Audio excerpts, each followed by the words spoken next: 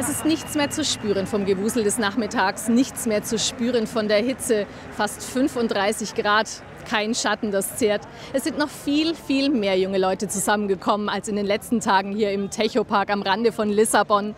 Und trotzdem herrscht eine ganz andächtige Stimmung. Im Moment ist Klatschen zu hören, es ist Musik zu hören, aber die Menschen sind ruhig und vereint im Glauben.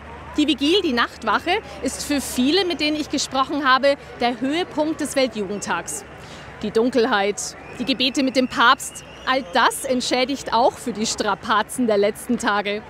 Die jungen Leute werden hier im Techopark die ganze Nacht verbringen.